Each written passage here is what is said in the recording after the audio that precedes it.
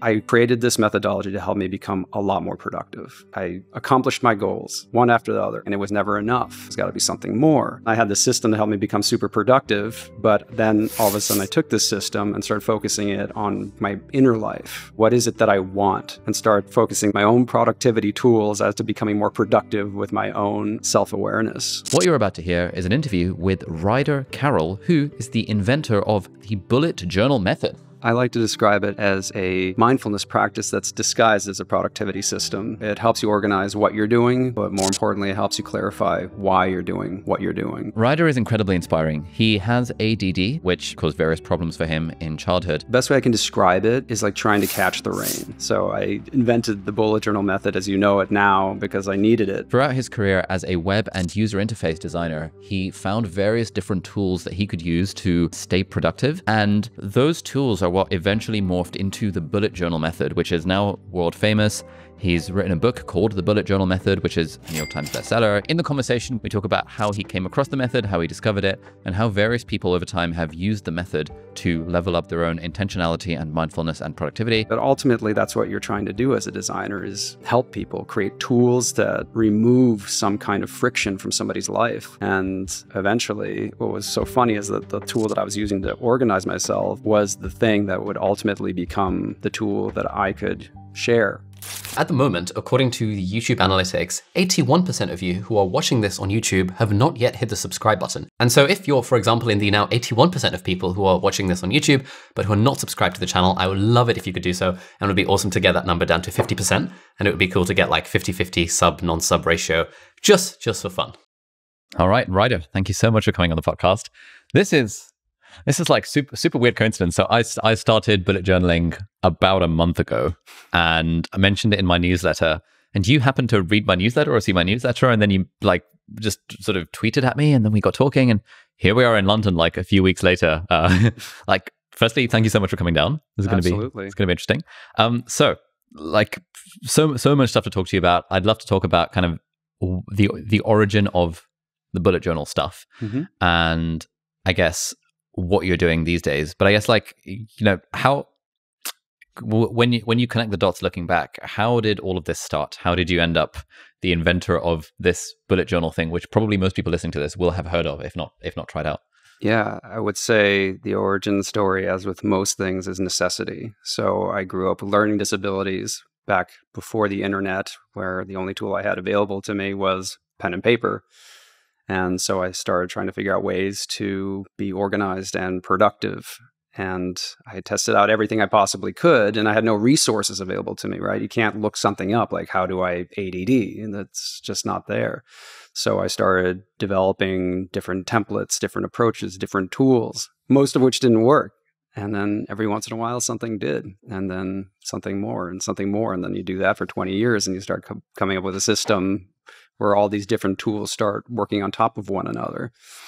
So I invented the bullet journal method as you know it now because I needed it. And I still need it. I need it all the time. You know, it's it's people always have this misconception that I'm like some super hyper productive human being, and it's not the case. I created this tool because there were challenges that I had, but they were different than the ones I thought initially, which we can get into yeah. a little bit. So I guess just as, as, as, a bit of context for people who might not have heard about the bullet journal method, mm-hmm. like mm-hmm. what is it in a nutshell? And then we can kind of explore origin story and like the, the arc of. Sure. Yeah. Uh, I like to describe it as a mindfulness practice that's disguised as a productivity system. So it helps you organize what you're doing, but more importantly, it helps you clarify why you're doing what you're doing. So it revolves much more around purpose than process, but it provides both. Hmm. That's interesting because like I've I've I've been hearing about it on the grapevine for years. I think I first read it about read about it on Lifehacker or something like classic, and in my mind it was just like, oh, it's it's it's a productivity system like that. I wouldn't have like the word mindfulness would have been very low on the list of things that I would have used to describe it before I knew about the thing. Yeah. Like what what what's going on there? Is is is that a common common reaction that you hear? It's a common reaction um, because a lot of people initially with bullet journal when they get to know about it comes through social media which is great. And it's it's both a blessing and a curse in that like a lot of people see a bullet journal but when you encounter something on instagram or pinterest generally speaking that audience is much more visual. So chances are their interpretations will also focus on the visual aspect of bullet journaling which means that it can be very creative interpretation or expression of bullet journaling which is completely unnecessary um, so a lot of people see these incredibly decorated beautiful bullet journals and like that's what bullet journaling is but it can be to me and to a lot of other people, there there's a lot that's lost when you see it online. So I understand why people are like, "Oh, it's like an artistic notebook." It can be, but that's really that's really what I try to get across with a lot of my work. It's trying to figure out what you need it to be. That's the essence of bullet journaling. It's like trying to develop a tool based on a very specific intention. So that's that's where I like to focus my my all my work is what is the intention what it, what problem are you trying to solve what goal are you trying to accomplish and then assembling the tools around that if that makes sense that's where the mindfulness comes on why do you need to get organized what do you need to get organized about that kind of thing i feel like mm. productivity and process often um, I think comes before the purpose, and that's a huge issue. At least it was for me. You know, as I was developing this methodology, I was kind of guilty of the same thing. If I become productive, then I will accomplish my goals. Okay, great. What happens after you accomplish your goal? Not much, right? Not much. It's like it's done.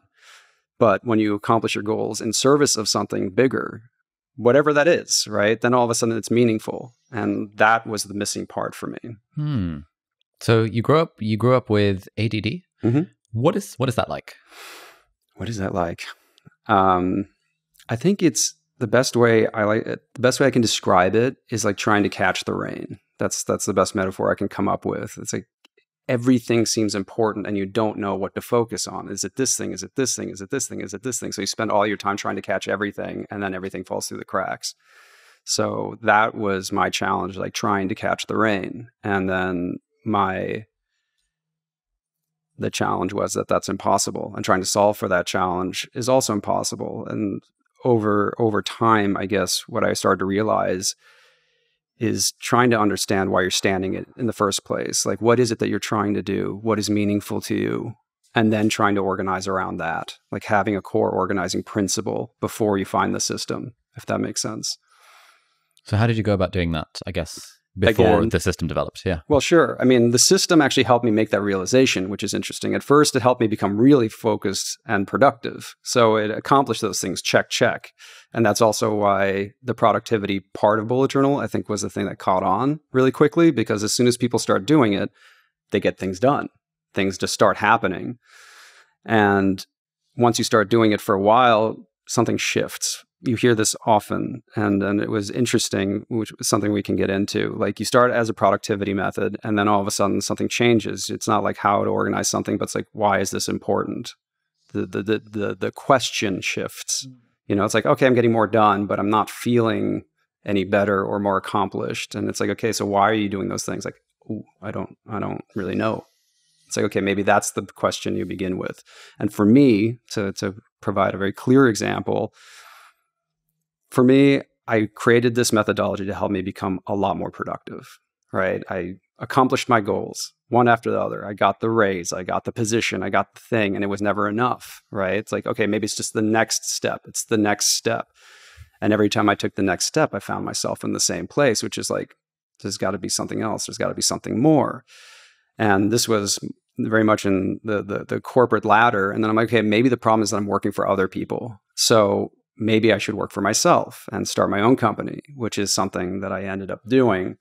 For two years, me and this other guy created this startup, and this was on top of our full time job. So we did the whole startup thing, you know, like sleeping under the desk, ordering pizza, all that stuff for years. And then we launched this product, and it was successful, and it didn't matter. It didn't make me feel any better. The work was great because I love doing the work. I love design work. I love figuring out problems and all these things. But when it finally launched, it didn't matter. And I'm like, why don't I feel any better? It's like, I thought I wanted this and I clearly I don't. So what is it that I actually want? What do I care about? And all of a sudden there's a big question mark there. And I realized that I was accomplishing other people's goals. It's like, as a designer, the whole thing is to have your own design company or to have your own product or to be the art director. And I did all those things and all that wasn't true, right? It was, I accomplished other people's goals and realized that it didn't mean much to me.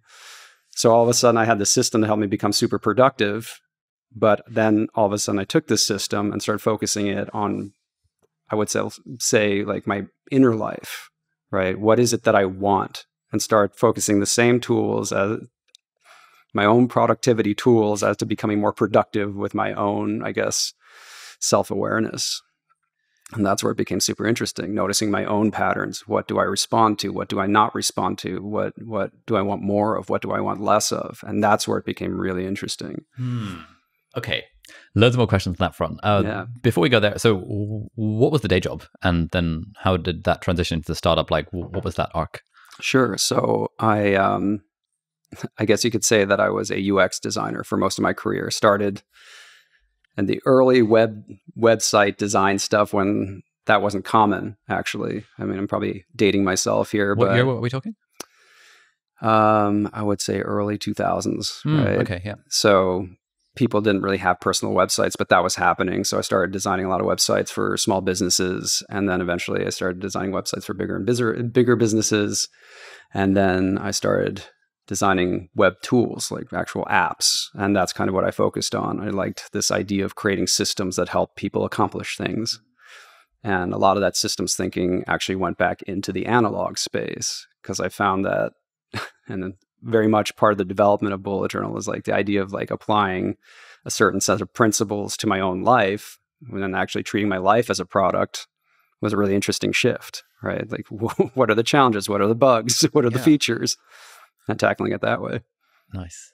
Yeah, I think uh, so. I I think I I, I did I did I built my first website in like 2006, and I remember um kind of it was it was it was in it was in like the computer room at school. Some kid had like right clicked on the Google homepage and clicked view source in mm. like Internet Explorer four or whatever it was at the time, I was like, whoa, this guy's a hacker because you could see all this the, the code and, and things.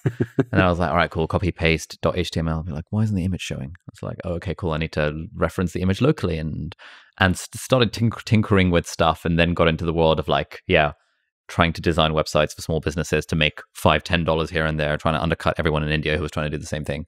Um, were you working for yourself, working for an agency? What, like, what did that look like in, in the early days? At first I was working for myself, and then I started working as a permalancer at different, actually, fashion companies who were putting more and more emphasis on their web presence. So they had like very basic sites, and then they hired people like me to kind of zip it up a little bit, right? Mm. you know, add interactive shopping experiences nice. or have digital campaigns like falling snow and yeah. winter landscapes and make it a little bit more creative. And so you did that for a few years and then decided to do the startup alongside. Yeah, a few years. I did that for like ten years, and oh, then okay, yeah. yeah. So at some point, I got to be like a senior art director at a major fashion company, specifically for web, and like that wasn't it, right? I thought I'd wanted this thing, and it didn't. You know, the work was fine, and I was grateful for it, but it wasn't necessarily fulfilling. So that's when I was kind of like, hmm, maybe it's time for me to work for myself because I put an incredible amount of hours for other people's dreams. And it wasn't even people, it's just kind of like a huge corporation in an industry that I wasn't particularly interested in. This was just a job. So I'm like, okay, let's have something a little bit more personal, something okay. that might be more meaningful to me. And I'll create my own company. So me and what became a friend of mine, but at the time was just a developer, he had an idea, which was to create like Paint by Numbers 2.0. Are you familiar with Paint by Numbers? Yeah. So he created an algorithm that would take a photograph and then create a custom paint by number map. Oh. And so we did that and we get like a custom paint set and everything. And so you could paint a picture of your kids or your dog or something like oh, that. Nice. Yeah, it was a really cute product. And yeah. we worked on it and it was a lot of interesting problems to solve. And we were proud of the product, but it's like, I don't know, just paint by numbers. That wasn't the, that wasn't it for me, right? It, this is a cute product. I'm proud of what we did. It was high quality, but it just wasn't interesting as a business. It wasn't fulfilling to me. And yeah, so I learned a lot in that time, like cr- creating and launching my own business. Yeah. And I realized that it had that it was empty. There was something missing. And that's what happened later. So we sold the company because both of us felt the same way. He felt the same way. It was really interesting. We had this kind of existential crisis simultaneously. Yeah. You know, we were proud of what we had done and we were done with it. okay. So it's like, what happens next? So when when did you sell the company? Uh, I would say probably maybe 2008, something like that. Okay. Yeah. So you sell the company in 2008. Like, what happens next? I continue to do work um, as a permalancer, I guess, all over the place, working for companies that I thought were interesting. I tried to go more for big digital agencies because one thing I did like is having a variety of different types of things to work on. Mm. But then I started also volunteering for a lot of tech non non for profits. Mm. And that's where things started to shift, right? Because like I had volunteered before and that was fine. But all of a sudden, when I realized that I could like use my tech skills at scale, that was interesting, right? It's at like, scale, in yeah. So I spend an hour working here. I help two people. I spend an hour working here, and the tech that I'm working on can serve twenty thousand people. Oh, okay. And that was a really interesting concept that never occurred to me. It's like we we ship this one feature that I designed, and all of a sudden there's housing available for 10,000 people, you know, or easier, that kind of thing. And that was really fascinating. And that felt very different.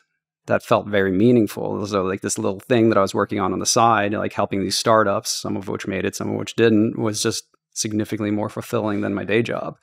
I'm like, God, I wish I could do something like this full time. Because, mm. you know, as a designer, I, I, don't know how it was like for you, but a big part of this is like, I want to solve people's problems, right? And in web design, it's like, sure, like getting insurance faster is solving somebody's headache.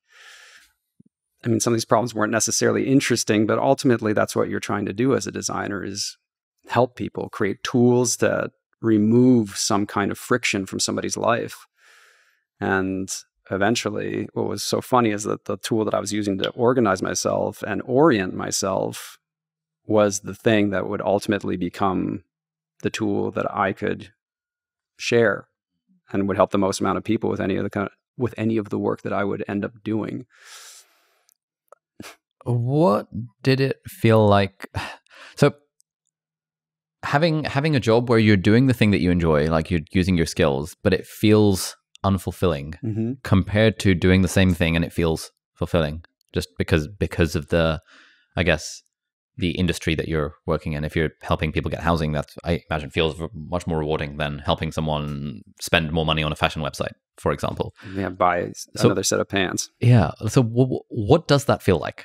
Like what? Uh, and I, I, I guess I'm asking because I've been in the fortunate positions so uh, as to not really have had a job that felt unfulfilling mm. in some hmm. way because I went like straight from medical school into medicine into this YouTube stuff all of which I feel like I just ticked the fulfilling box along the way in very in varying degrees. Yeah. So yeah, what's what's that like where you're like doing the thing you love, but like you're not doing it for the reason that you care about? I think it's I think people just have this realization at some point that their career is not really fulfilling. You know, you have these all these goals and sometimes you accomplish those goals so quickly that that momentum can remove a little bit of the existential terror of like looking at what you're doing really deeply and yeah. it's like is this meaningful? Is this what i want to do? It's like okay well i got the raise. Cool. Like i'll you know buy a house and then you focus on the house and then you can fix up the house. Yeah. and like meanwhile like your life keeps going and it keeps going. So there's ways to distract yourself from it but i mean you hear this thing called a midlife crisis and i feel like that's the moment that most people ask that question. You know, for me, I think I don't know if I had my midlife crisis early, but I feel like at some point the distractions go away. And then there's this kind of subtle reckoning where you're like, this doesn't mean anything to me. Right. And having that moment, I think is part of the human experience. And there's nothing particularly wrong with that. It's what happens next that I find really interesting right? And how do you avoid having that moment? It's just like I think if you don't ask yourself these questions regularly, eventually they will appear, right? But if you do, you can kind of figure this process out like what is meaningful to you what, what is your what are your values you ask in small little steps and you start becoming familiar and you approach your life with curiosity instead of this moment where you're like oh my god everything's meaningless and i don't know what i'm doing and this is like massive self-judgment and yeah I, I- I found it so much more helpful to kind of tack as i said kind of treat my life as a product or Yeah. as this big experiment and start asking myself like what am i curious about? Is this meaningful? And how do i have more of this? How do i have less of this? And approach it from a very systematic perspective right? Like the whole thing with the bullet journal method is I would say the thing that's lost is what happens off the page, which is most of it. It's the way that you think about your life that changes. And that's really the exciting part for me. But Yeah. that's hard to share with people. It is, yeah. So, what sort of tools were you using to stay productive before it coalesced into the method? Everything. I was uh, like a hopeless early adopter. It's like a new app, I would be on it immediately. And sometimes it helped me here or sometimes it helped me there, but it's, it's, it's, I don't know. Um, I mean, you name it. I probably used the app, Yeah. I used the system, I used all of it. And what's funny is that I learned so much more after I started sharing like Bujo work, right? People are like, oh, have you heard of David Allen? I'm like, no, I hadn't. I probably should have at some point, but like all these great thinkers in the space. And I'm like, okay, what do they say about this stuff? And it's been really exciting for me because I'm as much of a student of all this stuff as I am a teacher. And mm. So yeah, I continue to use stuff all the time. You know, like I, I love this stuff. It's Yeah. fun. It's like, okay, how do I make more how do I make better use of my time? And so, what were the dots that connected for you to result in that? Oh, this is this is the pen and paper based method that I have found the most most helpful. Like Yeah. having having tried these like thousand different things. Um, okay, so there are a couple things there. One is it's not done, which is the fun part, right? Like here are the here's the minimum viable product. That's kind of what I share with people. Like here are the fewest amount of tools I found to be successful over the longest period of time. Try them on for size and see if they work for you. Um, I think that I never intended on sharing this, so maybe we can approach it from that angle. What happened was that people always saw me sitting down with a notebook, especially in the as, somebody that's a digital native and working in digital design. People are like, "You always have a notebook. What are you doing in there?" Mm. I'm like, "Well, thinking. that's what I'm doing. I'm trying to figure out stuff, drawing, whatever. Yeah. It's a canvas." And then people would be like, well, so how would you deal with this problem? Or how would you deal with this problem? Or how would you organize this? And I would show them like one piece of the methodology, or at that time, just what I was doing. And I found over and over again that no matter what their background was, it would be useful, especially for people who only did things online. And I was like, huh, maybe I should share some of this stuff. Um, and that's kind of what ended up incentivizing me to coalesce everything to share it. And so I stripped everything out but the most helpful tools that had, the things that had worked over the longest period of time. And a lot of that's just about writing down your thoughts. That's the core of it. Like in bullet journal, you write down three things: the things you have to do, the things that you experience, and the things you don't want to forget. And then you come back to those things in regular intervals. That's the greatly diminished uh, version of bullet journaling. It's writing things down and reading what you wrote and trying to connect the dots over time. So those three, three, those three things were writing down what you have to do, Tasks, events, and notes. tasks, events, and notes.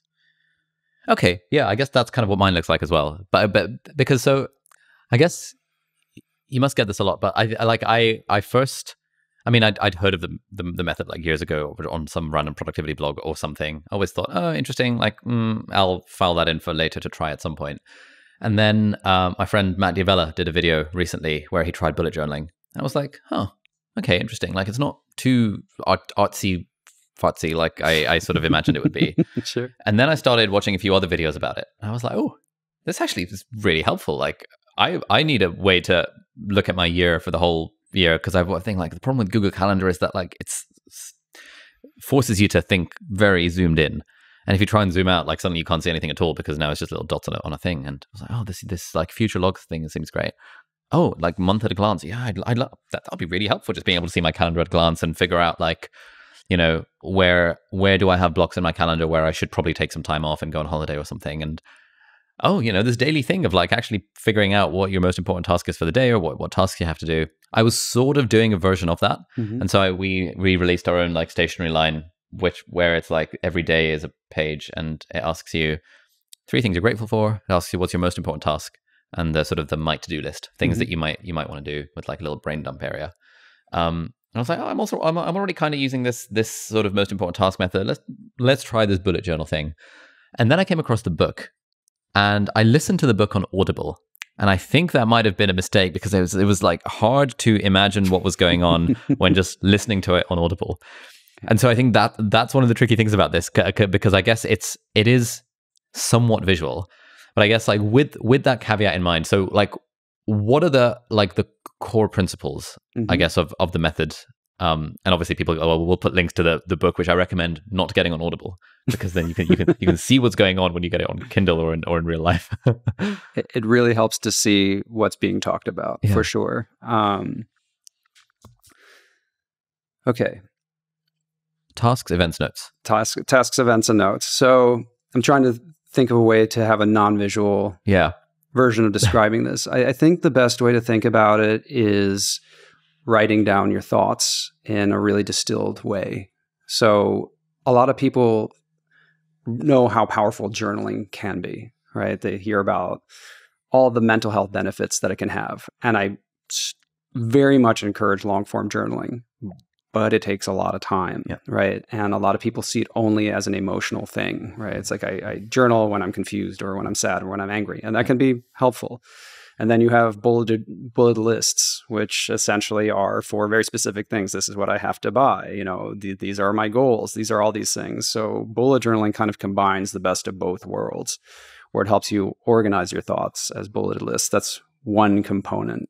There's two parts of the bullet journal method: the system and the practice. The pra- the system is how you organize information, and then the practice is more about what you do with what you write down. I like to say that you know writing down writing things down is only the beginning. So you write down the things that you experience, so your events, the things that you don't want to forget, which are your notes, and then uh, your tasks, things that are actionable, right? Mm. And- Okay. Sorry, please. Go ahead. And each one of those has a different icon in front of it. So as you're writing things down, you're also categorizing your thoughts in real time. And the only way to make that sustainable is figure out a way to write down less, right? You're really trying to focus on what really matters. And that is part of the practice, right? You're listening to somebody and you're like, it focuses, it helps you become an active listener, right? It's like, what about this is the takeaway specifically? So you're starting to think about what's being said in a very different way because like hearing and listening are two very different things. So it's like, okay, what about this is important? And then using your own words to capture it. And that process as well, like using your own words helps you retain it better and helps you f- make it more personal, all these things. And you're doing this throughout the day. So information that's coming from the outside being filtered through your brain and then being added to your bullet journal. So that's like a big part of it, capturing things. You record. So the bullet journal method works in a cycle, which is record, reflect, refine, and respond. And those are like the four steps. So you record by writing things down. Then you reflect on the things that you wrote down and try to come up with insights and different takeaways. And then you take action accordingly, right? That's essentially what you're trying to do. The bullet journal creates both a framework for you to organize your information, but also how to think about your information and then make all that insight actionable. That's the big part. Like, what do you do with what you learn? All right, we're just going to take a quick break from the podcast to introduce our sponsor, which is very excitingly Huel. I have been a paying customer of Huel since 2017, so it's been about six years now that I've been using Huel fairly regularly. I started eating Huel in my fifth year of medical school. And I've been using Huel regularly ever since because, you know, I like to be productive. I've, you know, my calendar is full with a lot of things. And often I don't have the time or don't make the time to have a particularly healthy breakfast or a particularly healthy lunch. My favorite flavor is salted caramel. Because for 400 calories, you get 40 grams of protein, which is absolutely insane, and you also get a decent healthy mix of carbohydrates and fiber and fat, along with 26 different vitamins and minerals, which are all very good for the body. There's nine different flavors of this to choose from. My favorite is a the banana version and also the salted caramel version. So what I do is I take my two scoops, I put them into my NutriBullet blender type thing, although you can just use a normal shaker if you want. I mix it up normally with water, but a little bit of milk to add a bit more of a milkshake-like consistency to it. And then I just sip that while I'm on my desk doing my work in the morning. And it ensures that I get a very healthy breakfast in that's nutritionally complete rather than some high sugar cereal, which is what I would have defaulted to instead. Also, Huel is ridiculously reasonably priced. Like a meal for 400 calories comes out to £1.68 per meal, which is super, super cheap compared to what the alternative would be if you were ordering takeout, for example. Anyway, if you like the idea of getting these cheap and healthy and nutritionally complete meals in your diet, then head over to huel.com forward slash deep dive. And if you use that URL, huel.com forward slash deep dive, they will send you a free t-shirt, which are quite nice, and also a free kind of shaker bottle type thing with your first order. So thank you so much, Huel, for sponsoring this episode. This episode is very kindly brought to you by Trading212. Now, people ask me all the time for advice about investing because I've made a bunch of videos about it on the YouTube channel. And my advice for most people is generally invest in broad stock market index funds, which is exactly what you can do completely for free with Trading212. It's a great app that lets you trade stocks and funds and ETFs and foreign exchange if you really want to. And one of the great things about the app is that if you're new to the world of investing, you can actually invest with fake money. You don't have to put real money in. They've got a practice mode where you invest fake money and then it actually tracks what the market is doing in real time time. So you can see, had I invested 100 pounds into this thing, what would my return have been X weeks or X months further down the line? Once you've got some comfort with that, then it's super easy to deposit money into your Trading 212 account. You can use Apple Pay, like I do initially, or you can use a direct bank transfer. And then once the money is in your Trading 212 account, then you can invest it in basically whatever you want. Now, if you're based in the UK, you might be familiar with the concept of an ISA, which is an individual savings account, which is basically a tax-free wrapper that you can put money in. You can put 20,000 pounds in every year, up to 20,000 pounds, and it resets every April. And then all that money can grow and it's completely tax-free for the rest of your life. And if you want to sign up for an ISA, you can sign up for one completely for free, also on Trading 212. So if you haven't yet filled up your ISA allowance, or at least put some money into your ISA for this year, that might be a good step forward. The app also lets you auto invest, which is a great thing because then you can automatically invest a percentage of your paycheck into the thing every month. And so if you haven't yet started with investing and you want to give it a go, then you can download the app on the App Store. And if you use the coupon code ALI, A-L-I at the checkout, that will give you a totally free share worth up to 100 pounds. It's available on iPhone and Android, and you can check it out by typing in Trading212 into your respective app store. So thank you so much, Trading212, for sponsoring this episode. So I yeah, so having having having listened to the book on Audible and sort of watching a few YouTube videos about this, one thing that I sort of took away, and I I, I think I actually got this I got this from the book because because initially I watched a few of these like fancy art, artsy people with cool really cool spreads and, and stuff. and then I listened to the book. I was like, oh, okay, this is actually simpler than I was kind of imagining it to be.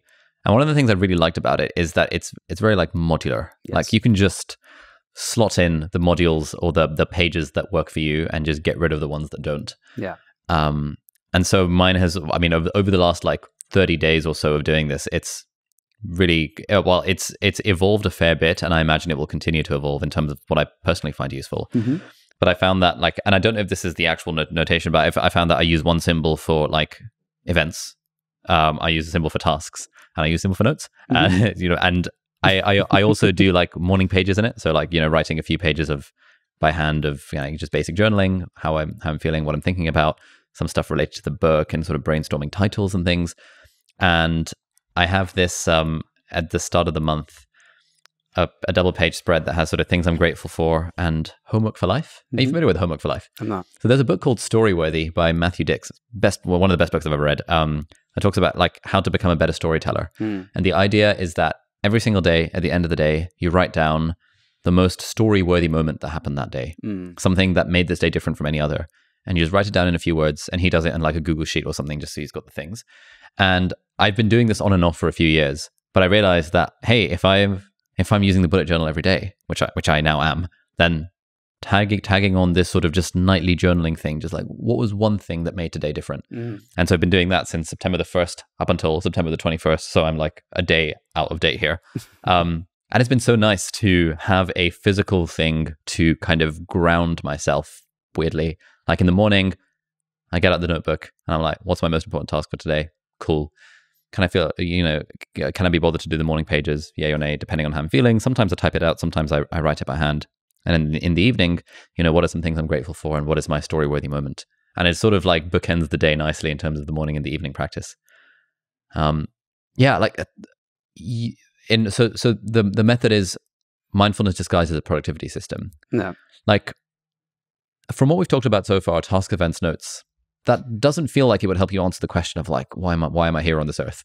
Yeah. So I, I, think the best way to think about the bullet journal method as a whole is as your laboratory for life, right? And I like using a notebook because it's a blank page, essentially, and you create whatever game or goal you want to play every day. And what's beautiful about this methodology, it's powered by your intention. What is it that you're curious about? What do you want more of? What do you want less of? And then you start finding the tools that's help support that. I provide a bunch of different tools to help you organize your thoughts and different rituals. So, daily ritual, weekly ritual, monthly ritual, those kind of things to help you check in. But a big part of this is about self discovery, right? So, for me, the thing that was so challenging growing up is people kept shoving productivity systems down my throat. Like, this will make you smart, this will make you more productive, but none of them worked the way that my mind worked.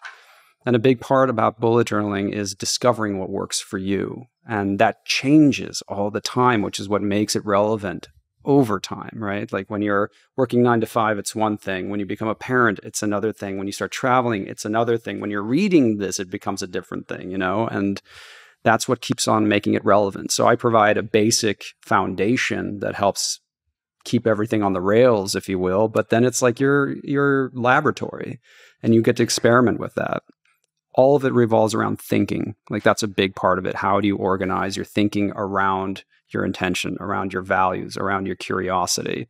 So we have tasks, events, and notes. That's the most basic piece of the puzzle, right? These are the things that are happening. And a lot of times people think notes are just, you know, this is what I have to do tomorrow, or, you know, somebody likes the color blue. But for me, notes are like, what are you feeling? Yeah. What's coming up? right? So like, okay, I did this thing and I feel this way, and then we have rituals to come back to all of this content and be like, oh, that's interesting. I worked on this thing and I've been feeling sad all month. Like this project that I thought was really exciting is actually just really bumming me out and it's not bringing me closer to what I want. And I wouldn't have noticed that unless I had read my own story. And that's what you're doing with bullet journaling. You're writing your own story and you're starting to realize when that story is not making sense or it's not the story you want to tell. And then every morning you wake up and you start telling that story anew. I found that I started I've started writing those sorts of things recently. Oh, like Wednesday the 21st, so like 2 days ago, I wrote um event podcast with Alex and Matteo, event podcast with Tim, um, this other thing that was cancelled, this other thing that was cancelled. And I said that, oh, I did in, uh, uh, intermittent fasting, 12 to 8 feeding window, felt great. And I have never written down something like that before. I mean, except like the day before, I was like, huh, you know, let me actually write down how I'm feeling with this bullet journal type stuff. And just the fact that I now have those two data points that, hey, I actually only ate in between 12 and 8 p.m felt pretty good. That's really useful for me for me to know because I probably would have thought that or felt that in the past, but the fact that I hadn't written it down means that it didn't register with me in, in some way. Yeah. And now I'm like, oh, this intermittent fasting stuff really has something going for it. And today I had breakfast with my brother, so I didn't do that. So I'm curious as to how my kind of how my body feels and stuff when sure. I don't do that. Um, okay, so so we've got task events notes, which feels like kind of ground level, like here in the moment on this like almost on a, on a daily cadence what are the tasks events notes? Mm-hmm. what other what other i guess modules or tools are there that help guide more like intentionality? Yeah so essentially i would say that the practice is more about intentionality. So every bullet journal i always encourage people to set an intention. What is it that you want to learn about yourself right? Or what challenge do you want to tackle what goal or ambition do you have and then a lot of your notes will be anchored around that and so that's really helpful. It, it, it, and in order for that to work, you need rituals, right? I, I prefer the word rituals over habits because I feel like habits like brushing my teeth is well habit, you're also sending set it, for me habits are things are behaviors that you're trying to make automatic right? That's it. Like the ideal thing is that you go to the gym and you don't even realize that that happened. I don't know in my own life i've i don't think i've ever created a good habit that i haven't had to think about a lot which is why I think rituals are so much more important because a ritual is a set of behaviors that serves something meaningful and actually doing those things requires a lot of attention, right? So in bullet journal we don't have habits we have rituals and we have daily rituals weekly rituals monthly rituals yearly rituals and they help us think at different time scales about our life right what's what's happening today might not have context yet what's happening next week doesn't have context yet, but it will help you contextualize the days and monthly and so forth. So it helps us increase the resolution of both our past and what we want in our future. Mm. We start identifying our own patterns by simply reading the story that we're writing down about our life. And when we realize it's like, oh, I really wish I knew about this, then all of a sudden you can just start taking notes from today onward about that. How are you feeling about your relationship? How are you feeling about your job? How is this project making you feel? So you become the author based on your intention, on your focus, and that shifts constantly. And that's why every bullet journal is completely unique to its author. What's a what are some rituals that you personally find helpful? I guess daily, weekly, monthly, annual. Yeah, um, writing is really important for me. It's so I have regular intervals of longer form journaling. So for me, longer form journaling is actually quite taxing, but it's also immensely helpful. So in my weekly ritual, I will have a longer journaling session about the week gone by. For my month, it'll be about the last four weeks, that kind of thing. A year or when I get to the end of my notebook, it's about the notebook. Like, what have I learned? And that's really helpful. So I've been doing a lot of that. That's a great ritual. Also, just taking the time to read what I wrote. Like that's a very consistent ritual for mine of mine. Just sitting down at the end of the day and like, what do I need to do? What do I not need to do? that's another really important part about bullet journaling. We rewrite a lot of our content. That's a big part where we call it migration. So every day, every week, every month. We, you know, pick our priorities and we also move things forward. And in that process, we make a choice about the things that we are going to keep in our lives and the things that we let go of. So having rituals where we say no regularly is a core part of bullet journaling. It's not about keeping never ending to do lists. It's about having a systematized way of curating your life on an ongoing basis based on how your priorities change, your circumstances change. So the rituals are there to recommit to things and let things go and reorganize, right? Yeah. So like not only are you moving your content, you're also incrementally changing the way that you organize your content. It's like not only what you're organizing, but how you're organizing it. It's like, oh, this collection is not really working. Like this health tracker isn't really doing anything for me. Why not? I don't know. And a lot of, again, this gives us an opportunity to approach something with curiosity. Do is this fitness routine not working for me or is it the way I'm organizing the fitness routine? And it gives you an opportunity to ask that question and think about it and then take that insight and then improve it next month, next week. so it's an iterative approach to curating your life. I think that's something that I'm not doing consciously enough or like as consciously as I would want to. Just like really thinking of the intention behind the thing. Mm. Because I think like one thing one thing I have noticed these days is you know I have I have my personal trainer sessions a few times a week, um, but I never look forward to it, and I'm, I'm, and I'm always glad that it's over. And I feel like I sometimes the thought strikes me that hmm this thing feels a bit grim, and like when he cancels on me, I'm just like yes, thank God for that. Uh, and if I were more intentional about how I was feeling and like writing writing that down, like at the, if at the start of the month I w- I'd be like, or whenever, huh, I, w- I wonder how I feel about my gym sessions. And then I would write down how I feel after each one. And then I'd think, okay, you know, what are some other ways to get exercise? I enjoy playing squash. How do I feel after a squash session? Feel feel freaking great. That's a sign to me that actually, do I really want to do this gym thing just for the sake of getting slightly bigger biceps? Probably not. Like, why don't I do something I actually enjoy? Is that, is is that sort of along the lines of what, what you mean by kind of being intentional about Bingo. it? Bingo.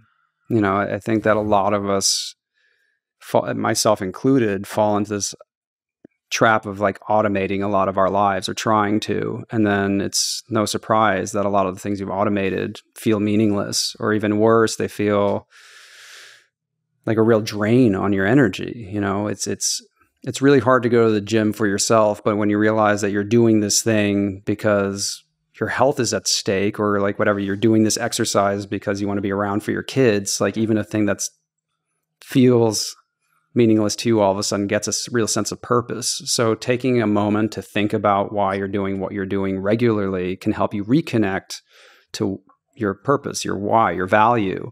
So even the things that aren't fun like nobody likes doing the dishes right? Very few people but it's a way for you to show your partner that you're committed to this relationship. So if you only focus on you not doing the dishes, no big deal. But if you focus on you wanting to like have a sustainable and healthy relationship, you're like, okay, I know why I'm doing this. It doesn't make the dishes great, but it doesn't feel like a waste of time. And that's when things I think get really dangerous when you feel like things are a waste of time or they're meaningless. And some things are, and it's really important to stay aware of that.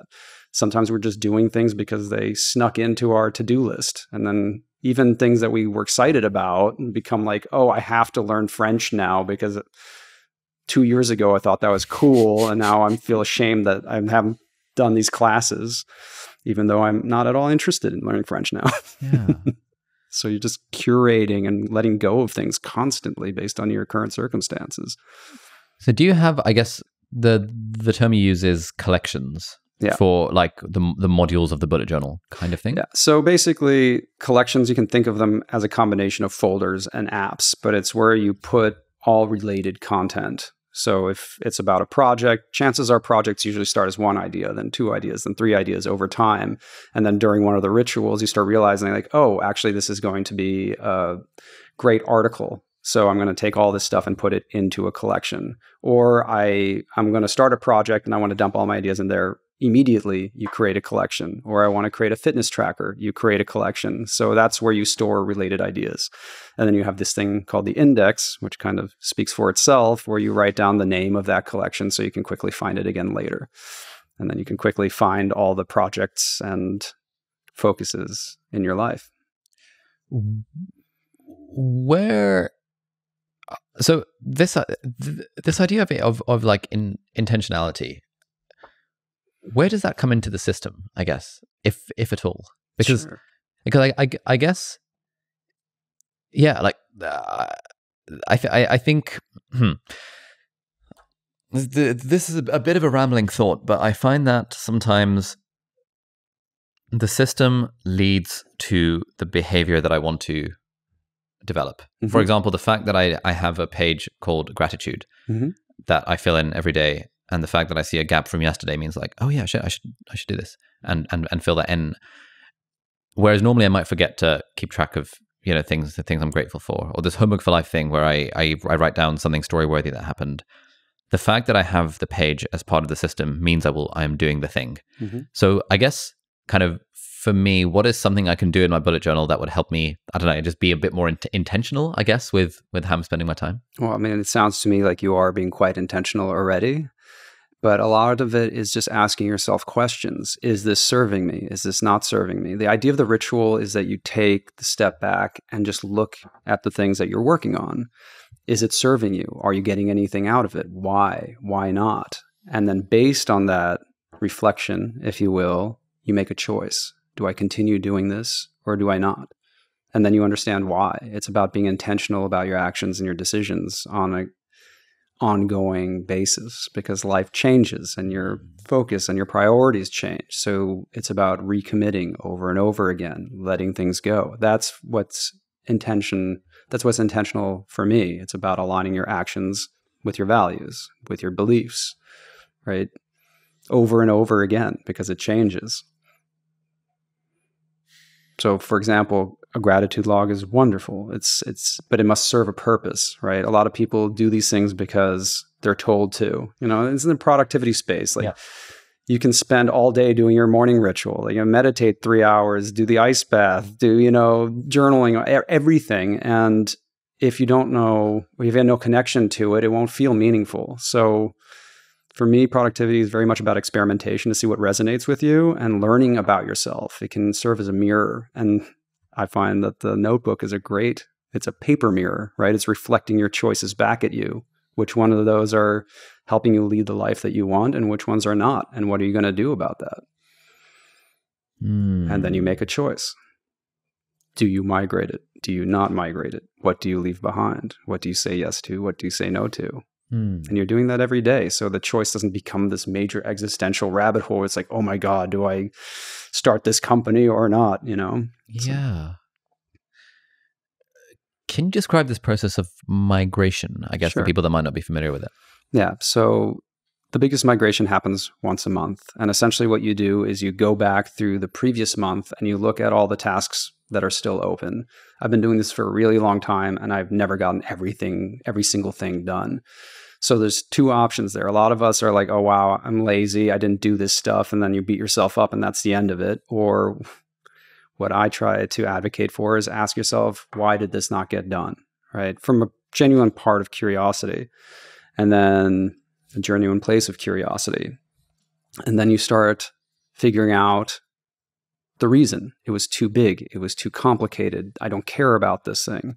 And we use this thing called the filter, where we ask ourselves three questions Is this thing vital? Right? Does this need to get done? And vital things are usually things that would get us in trouble, right? Rent, student loans, whatever. Then the second question is Does it matter? Does it matter to you or to someone that you love? Usually it's easier to answer whether or not something matters to somebody that you love. But when it, it comes to us, it can be a little bit of a grayer area, right? Does this still matter to me? And it's a very basic question, but oftentimes you see that like the French lessons are a great great example. It's like, okay, I've been migrating this thing month after month after month after month, and I have to be honest with myself. I don't care about learning French anymore, and I can just let that go. Right. So does it matter? Yes or no? And you get to determine that. So you're being intentional about what you're recommitting to. And then the third question, if you don't know if it's vital or if it matters, are there any consequences for not doing it? Ever. It's just changes the context around. And if you can't think of a single reason or a single consequence for not doing this thing, then chances are it's not vital and it doesn't matter. And then you actually just cross it off, you leave it behind. So once a month, you're making a choice of what you want to recommit to. And then you rewrite those things in your next monthly log. So that way, you're constantly curating the things that you're allowing into your life. Like in the bullet journal, your tasks aren't just stuff you have to do, these are all experiences waiting to be born because every action requires time and attention. Yep. This is how your life is constructed, this is how your life is built. So you're choosing what you want your life to consist out of every month.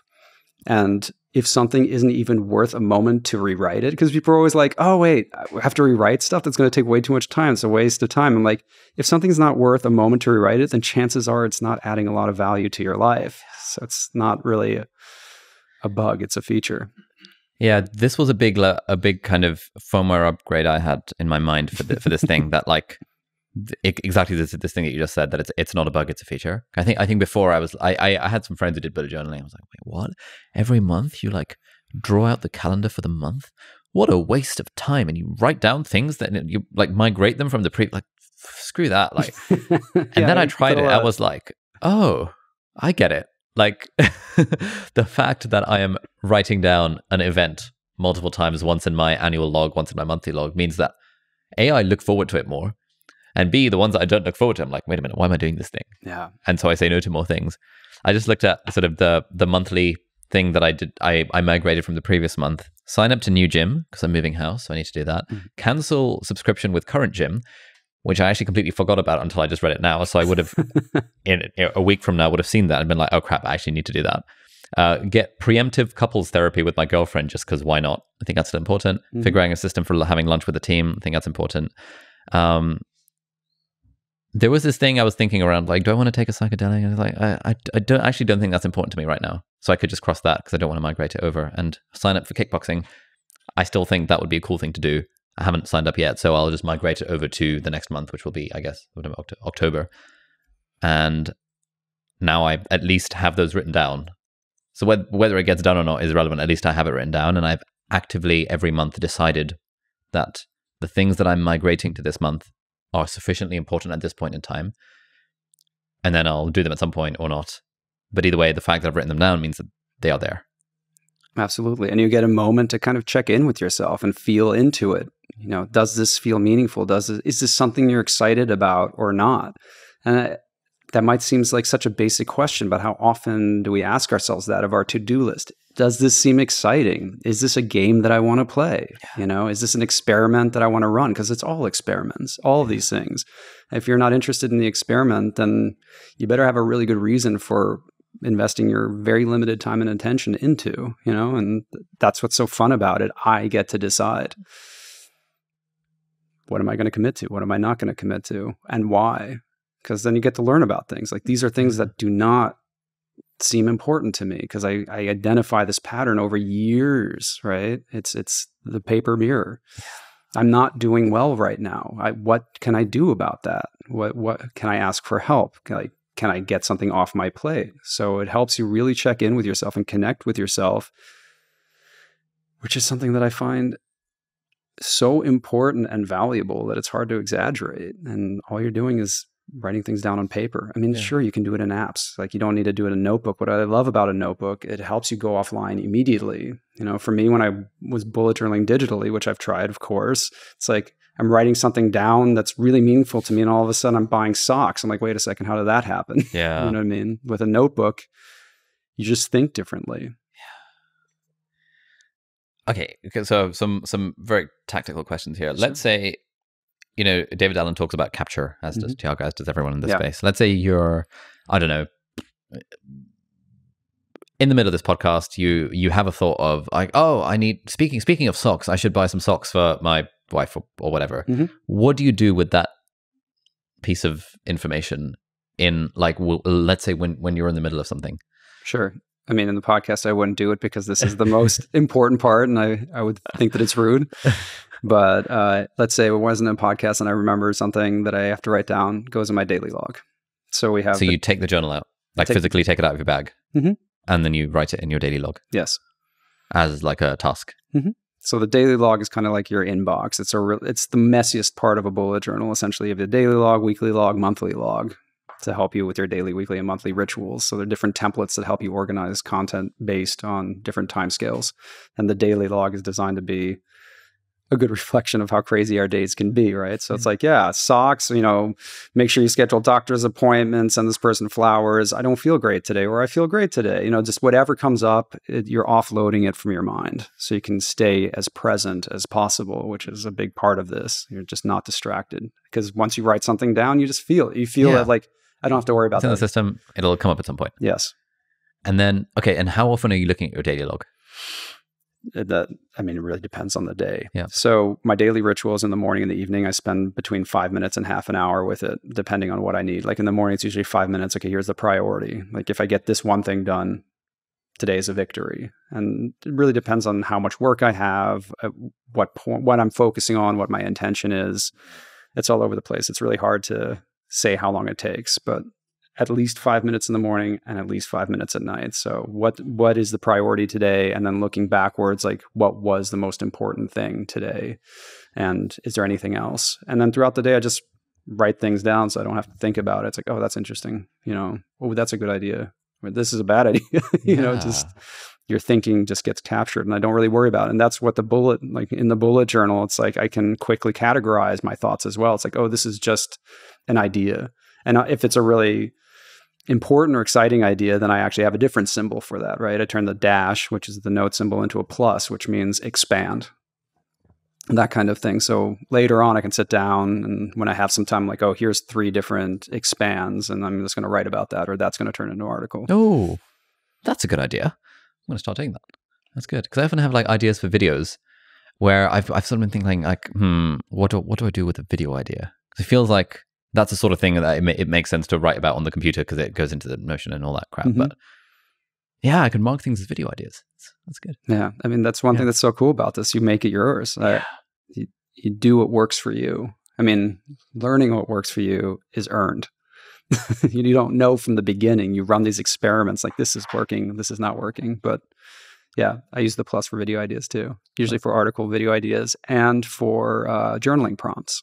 Like sometimes I'll I'll get stuck on an idea or an event that's either upsetting or confusing or something like that. And I can't sit down in the middle of the day. I'm like, okay, I'm going to have like this existential journaling session. I've, I've got stuff to do. So I just write down the one bullet with a plus and it's incredibly helpful. It's just like, okay, I don't have to focus on that right now. And when I do have time, it's like now my book is full of prompts that I can actually unpack this. Oh, this is great because I, I have like a, a nightly journaling y type thing where I mostly do it on a computer because I can just type way faster and I feel like it's then co- copy pastable into a video, etc. Sure. But what I haven't done is actually just have the bullet journal open in front of me with like the keyboard so that I can be like, oh yeah, let me expand on this idea. And then I'll expand on that idea. Mhm. Normally I'm, I, I have bullet journal in the bag and then, then I kind of see those two things as being separate, but I can absolutely bring them together and connect, connect them up. It feels, feels very exciting. I mean, for me, like you're very deeply in the PKM space. For me, the bullet journal also solves a huge problem in the PKM space. It's just like what goes into your PKM, right? So it's kind of like, oh, here's the plus that goes into, in my case, Roam. So like I'm a huge Roam guy, but that's how that works. It's like, okay, log that. That's going to become an article, mm. that kind of thing and I can find it really quickly because as you're bullet as you're actually bullet journaling or rapid logging as I call it, you can just read the margins of your pages and be like, oh, here's an idea, here's an idea, here's an idea, here's an idea. It's part of the design geekery of the yeah. layouts. no, that's great. so okay, so how what what do you what do you feel like people m- most get wrong about bullet journaling? I think the most common question or a com- let's say the most common c- concern that I get is like I'm not an artist, I can't bullet journal. And that's always disheartening because if you see the core of bullet journaling. You don't need to be able to draw a straight line in order to bullet journal. It's very much about just writing down your thoughts. You can make it elaborate and you can make it beautiful, but mostly people think they have to be an artist. And it's really not about that. It's as simple as just writing down your thoughts in a line or two. Literally, that's it. So for me, it's about setting an intention. What is it that you're trying to accomplish? How can this tool serve you? And then letting it unfold that way, seeing it as an experiment and seeing what works and what doesn't. And the thing that's so beautiful about it, what is it a laboratory for? Right? I mentioned it is a laboratory. It's for you learning about yourself, seeing what tools you can build to solve problems for the way that you think. And the only way you're going to figure that out is by doing it and learning from it. And like, okay, this layout is really effective. This one is not. Next month, I'm going to iterate. I'm going to iterate. I'm going to iterate on the way I organize, what I'm focusing on, and you just like learn about yourself very quickly and it's it can be really fun. Yeah one of the things i really i really love about this is that you actually like even even though you sort of you, you have a business around this and you've got the fancy notebooks like you aren't really trying to sell anything. Like anyone can pick up any old notebook or even just like a random piece of paper and staple it together with some with another one and do the method. Like it's not that hard. And there's loads of blog posts and stuff on on the website and on every everyone else's productivity website around like how they do it. So yeah. within like 10 minutes of watching a YouTube video or doing a bit of research and using just a random notebook that you have in your house, you can create your own bullet journal. Absolutely. Oh, it was like almost, like exactly a month ago that I first started doing it, where I just like immediately felt more intentional with how I'm spending my time. But also weirdly, I feel like time has slowed down for me hmm. because every day I take a moment in the morning to figure out what, I, what, what I want to do for the day. And in the evening, I write down what made today different. And if I think of the rest of almost the rest of this year, pre August, it sort of felt like it went by in a bit of a whir, and I almost can't remember it. But these last 30 days, like I'm kind of surprised the month hasn't ended because I'm like, oh yeah, it's been you know I've done quite a, quite a few things. I looked down my homework for life thing, the story stuff, and it's like I, I, I almost feel surprised when I get to a new week now because I'm like, oh, I have to draw out the week thing. I'm like, oh yeah, it's been a while. It feels like it's been a while since I've done that, and it, just very weird feeling of like time slowing down. Um, have you had that? Like, is is is that something you've heard from people? Yeah, absolutely. It's amazing what happens when you take the time to study your life, because otherwise, I mean, especially in this digital age, time kind of vanishes. And during the pandemic, like time wasn't even a thing anymore. So the way I like to talk about this is like bullet journaling is about taking time. You know, people always t- talk about making time, and the truth is that time can't be made. Time can only be taken. It can be taken from you or it can be taken by you. And bullet journaling is about taking the time to figure out what kind of life you want to live. Like, how are you doing? What are you doing? Why are you doing it regularly? So it doesn't become this big existential dilemma. You know, it's like, why am I doing this today? Oh, that's something I can delegate. So that that's time slows down when you think about it that way. And then the time moving forward, because to me, it becomes much more intentional. Like, sure, there's times where I'm not bullet journaling and things begin to fray a little bit. And it's like, oh, wow, time begins to speed up. And yeah, things start falling through the cracks. So it's just like, hmm, it's like taking a really deep breath and like looking at your life and being like, okay, this is where we are right now. What happens next? And you get to choose. Yeah. Yeah. um, Okay, let's, so, so let's rewind back the clock a bit. Let's sure. say uh, I think it was uh, 20, 2013 you first started sharing stuff about the mm-hmm. the, the Bujo. Um, how did the how did how did your life slash business evolve from there? Like how how did this thing of my my mates at work are asking me how I manage my to do list morph into what is now your full time job and a business surrounding it, where basically everyone has heard about what a bullet journal is? yeah, I mean, I had just rolled off a year uh, working on this startup for somebody else. I was just their design director, and it was kind of like a soul crushing job. Like it paid well, you know, all the things, but I just wanted to work on a personal project. I'm like, okay, what can I build that's helpful? Right. I wasn't the best designer in the world, not the best coder in the world, but I did happen to use my notebook in this really curious way that seemed to be helpful. I'm like, okay, so why don't I sit down and actually build a website showing people how I use my notebook? Yeah. And so in 2013, I sat down for like two, three weeks and then just systematized everything or formalized it, I guess would be the better term, right? Okay, what is the, I need some language yeah. here to describe these processes because it's really difficult to describe to other people how you think. It's unnatural. It's like, this is how I think. So I actually had to create language and all that. And in about two weeks, I came up with the vocabulary and then designed this website to teach people the very basics of bullet journaling. It was like a four minute video, and I had to choose a name and bullet lists and journaling. It all kind of made sense. I put it together and launched that. And soon it got covered by this Lifehacker website and then this thing, and it kind of blew up. And I didn't really know what to do with it because I was like, I'm to launch it and that's it. It's just there to help people. So it was just a blog at this point. Yeah. Where you're just like, oh, here's the method. Here's the method. It's helped me. I hope it helps you. Yeah. And it was kind of like a thank you letter to a lot of people in the early web space just gave away their knowledge for free. They're like, I'm trying to figure this out. This is how I solved it. And I benefited from that so much early on in my web career. Like, I yeah. don't know CSS or HTML. I'd like look it up online. Yeah, Stack Overflow and stuff. Yeah. Exactly. I have like no idea. And all these people sharing this wealth of information for free. And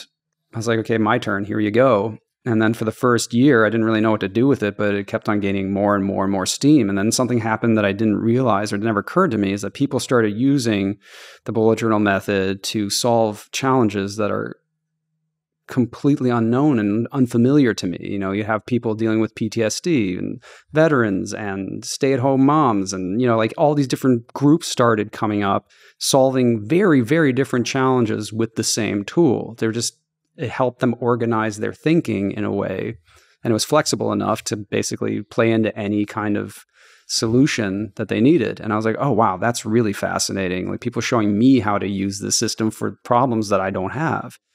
And that got really exciting. So in 2014 i was like why don't i build a website based on how other people use bullet journal as opposed to me? Yeah. and then i created a kickstarter to finance a new site to like actually hire myself because I need to eat as well um, to build a site based on other use cases you know for for parents for teachers for students all these things. And as a thank you I partnered with this company called Leuchtturm to create a notebook for higher tier backers.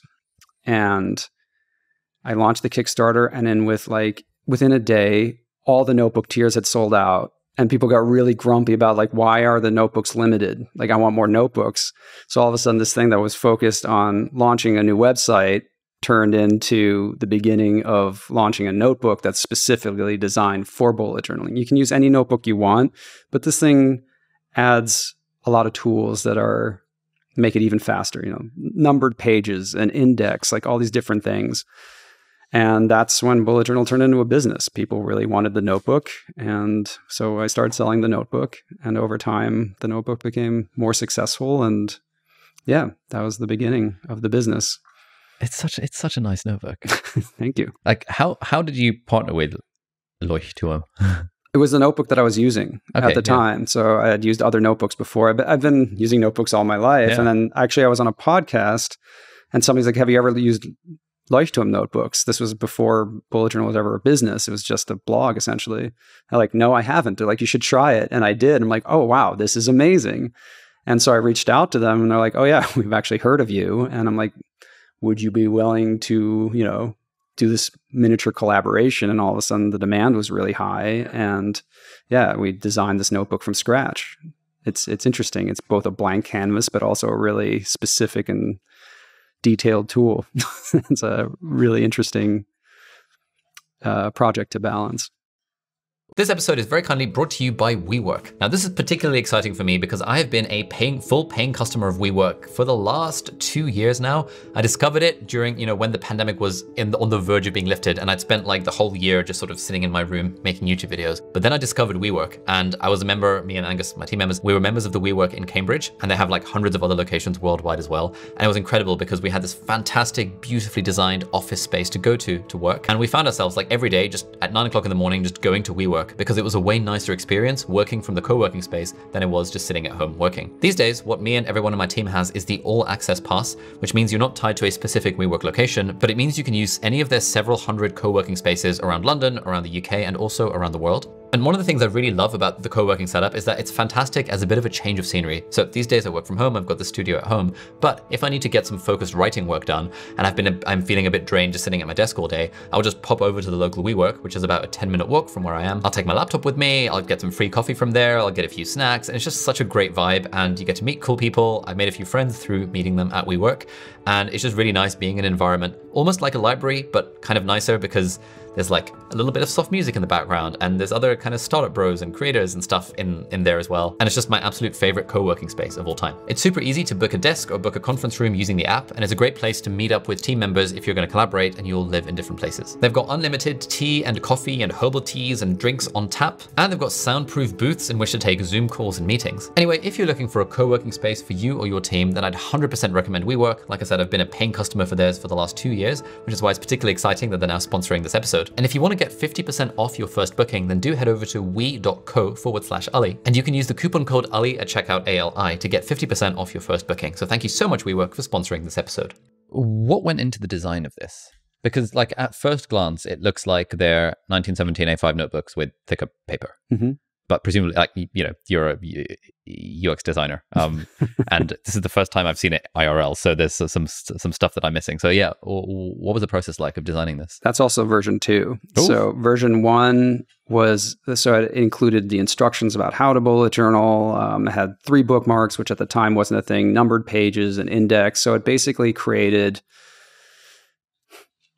it created all these tools to make bullet journaling ever so slightly easier yeah. right and more formal. And then over five six years we got a lot of feedback and then yeah. we came out with version two. So like the artistry was something that was never something that i anticipated right? But people like colors and they like different pens and everything. Yeah. so the next version had thicker paper and it also has guides inside the grid to quickly chop up your pages That's to create different things. And then there's also you know this this way of quickly seeing what the grid of the page is so you can create any tool you want inside and the thinnest tool pack ever. So all these like little stickers to help you annotate your pages or actually take the stickers and put them in things outside of your notebook. Yeah. As i said like most of the bullet journal work happens outside of your notebook.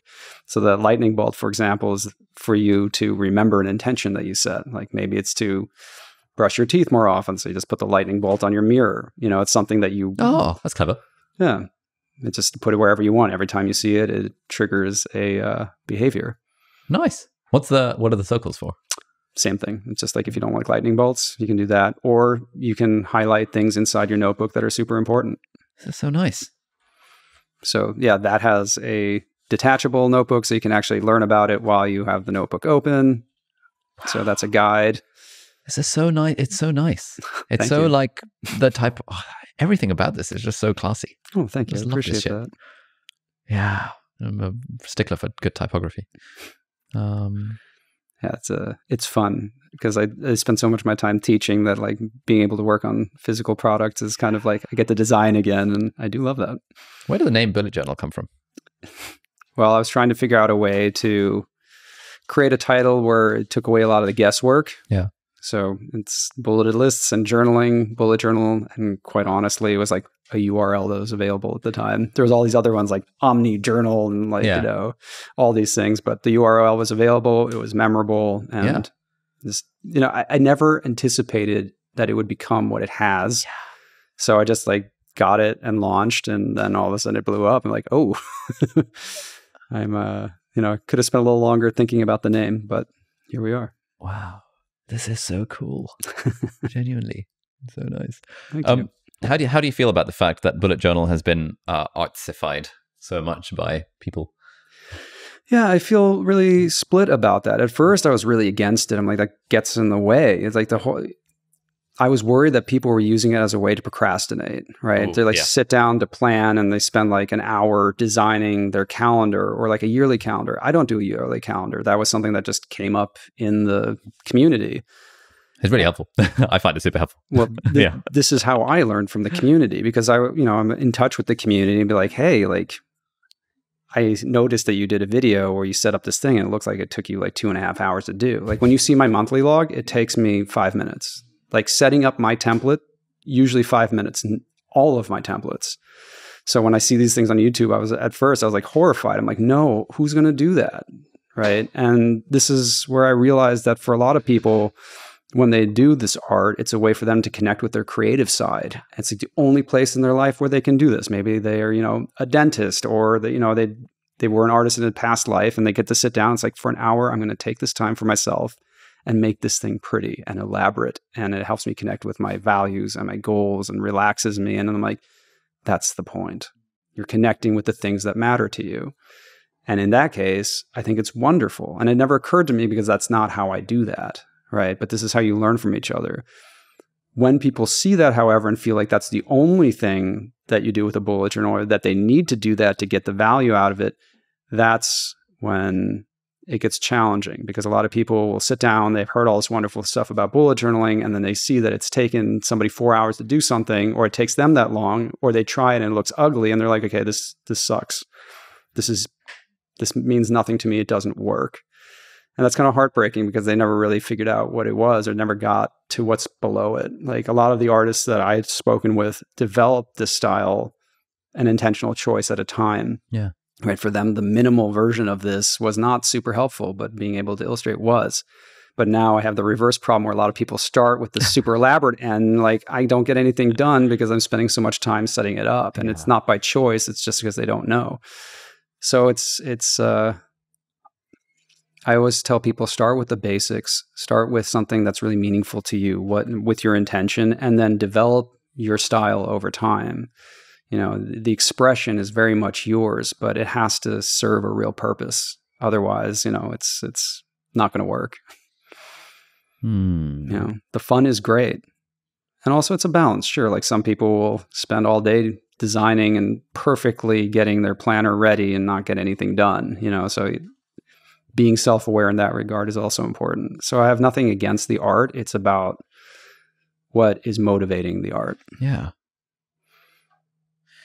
Yeah, that makes a lot of sense. Yeah, I think when I first started this, uh, so I, I actually started on an old uh, Leuchtturm 1917, and I thought, you know what, let's just like MVP this. Like, I don't want to do all the art stuff, and plus Sharpie was bleeding through the paper on 80GSM anyway, so I was like, okay, this is fine. And then after seven days, I was like, all right, now it's September has started. I'm going to take this and and do it in an artsy kind of way. And I was thinking, oh, I can make a video about this. We set up an overhead rig and everything, and just it it literally took like three hours to make it look good. And I was like, hmm, how do I feel about the fact that this has taken so long? And I I, I actually did feel good about it, um, because to me, I like it's it's it's like that thing you said, like everything I do is so digital that to be able to get some nice pastel colored highlighter pens with some emoji stickers and stick them on the page. I didn't know what washi tape was. I found out what washi tape was after watching uh, Amanda Rach Lee's video. I was like, oh, this is a thing. It's like, oh, this is cute. Like, I get to explore my slightly more creative on paper side Mhm. while also just the fact that I'm taking the time to draw out the whole year and the whole month is making me think, yeah, I, I have got lots of stuff back to back there. Like, do I really want to do all these all these things? And so it was like mindfulness and intentionality at the same time as expressing creativity, which felt really nice. But like last week, I mean, at the start of this week, we've we've got a whole week of batch filming of the podcast, Mhm. and so my weekly log is very bare bones of just like date, line, line, line, line, line, done. Yeah. And I think over time, I've become kind of less precious about what's in what's in this, and uh, sort of embracing some level of messiness, although it still looks somewhat aesthetic. I think.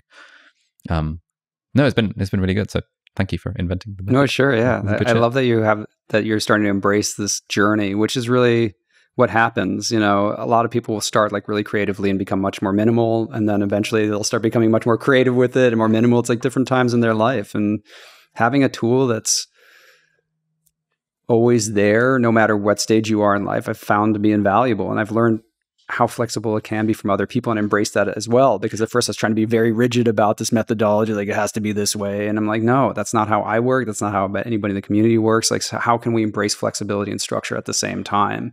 And for me, it boils down to intention. And intention is the structure. It, and then you you use the tools that help you experiment and figure out what that intention means to you how you can execute it and embody the things that you value. Yeah. Um. So you launched the Kickstarter. Mhm. What happens next? Like, how how were you feeling when it was blowing up? Like, what was going through your mind? It was a very strange time in my life because I had just started a new job with a digital agency like the week before I launched the Kickstarter, which was very unintentional. it just kind of came that it happened that way.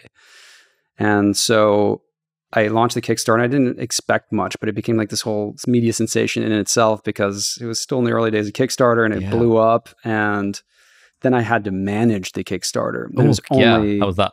that was a nightmare. That was an absolute nightmare. October 2015. I've just brought up the Kickstarter. Yeah, it was. Uh, you should have a team to help you with a Kickstarter because run, having a full time job and running a Kickstarter, especially when you're trying to ship things internationally, is like a bad idea. But uh, you know, after I got over that, eventually I had to figure out what was more important to me, like this incredible career that I had been working so hard on. I loved my job. I like was doing everything I wanted to do, or focus on this kind of side gig. And eventually I came to the conclusion that the the way that I can serve people best is to shepherd this methodology that I never dreamed would have helped other people, but it did. And I got countless letters about how it helped different people. And if I would only, if I could only be a nexus point to introduce it to other people and see how it helped them, then that would be far more meaningful than anything else that I'd worked on. So the choice became pretty easy eventually. So you quit the job Yeah. and went full time on this. Yeah. How did you know it was going to make enough money to go full time on this? Because because for like the Kickstarter, like seventy nine thousand dollars pledged. Presumably, you could have made more working at an agency. Oh, yeah. in New York. I made way more money Yeah. at my So- job. Well, um, I didn't. I didn't. Uh, for me, it was a gamble. It was a risk. I had a very large community at the time, and the business was doing all right. But I didn't mind living on less if I could wake up and really care about what I did all the time, and I did. So for a little while, like that was a big thing. But then came the book deal, yeah. so I made the choice. I was like, okay, I got to transition because I'm not doing really well in bullet journal. I'm not doing really well in my job because I was so torn. And that's exactly the opposite of what I'm trying to get across, being intentional about the choices you make. So I was like, okay, I got to practice what I preach here. It's like, am I going to do this career that's really comfortable and exciting, or am I going to do this thing that's super scary and I don't know what's going to happen? And I was like, well, how, what is, what is a core value? And it's service. For me, service is just a core driving principle and this is the thing that aligns with that so it became pretty obvious when i sat down and took the time and then i was really lucky that a book deal came along and that helped that's when i started writing the book Mm. So, So- you did. So you so you got the partnership with Leuchtturm ar- around 2014, 2015 ish. 2014 before the the uh, so the partnership kind of developed throughout the Kickstarter because at first it was limited to like a thousand notebooks. Like that was the partnership as a quick collaboration, and then both of us saw that there was a real demand for it. So that quickly became the partnership that you see today. And working with them has been absolutely delightful. They make it possible. I couldn't possibly do this by myself. And it was just me for the longest time. And then I just kept on focusing on creating more content and Yeah. surfacing people in my community. That was like the main thing, finding people so unlike myself that use Yeah. this for in ways that I would have never imagined, just Nice. finding other people. And yeah, that worked. people it was it was amazing. And then So how Well- did?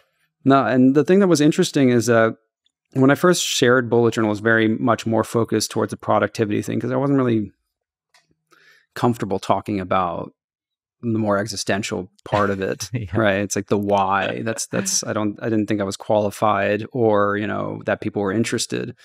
But now years had been going by, and more and more and more people were like, something's happening while I'm doing this. Like, you know, you had mentioned that there's somewhat of a state shift in the way that you start perce- perceiving time and your life. And this happens to people quite regularly, and I hear about it all the time. And I started answering emails like, okay, it's not about like setting goals, it's about setting meaningful goals, or like, how do I know what is meaningful, what is not meaningful? Because people started becoming more and more productive, and they keep running into this problem where they get things done, and then like a day, a week, a month later, it's like it had never they just normalize, and then it's over, right? It's like okay, so you got the six pack. you know, but you're still insecure. So it doesn't that that wasn't the goal. It wasn't about the six pack. It was figuring out a way to become more confident. You know, and that's a very different journey you know, and that started happening regularly in all sorts of different ways. So I was like answering all these emails as best I could because, you know, this is what I'm most fascinated in the why and figuring out what is meaningful and the reason behind the reason, if you will. And eventually it's like, well, maybe a book would be a better way, better medium of sharing this part of the methodology, the thing that for me is at the heart of it, the why, you know. And yeah, so we start shopping around a book and what did that process look like? Which the, part? The book deal getting process. I mean, it was a really wild ride.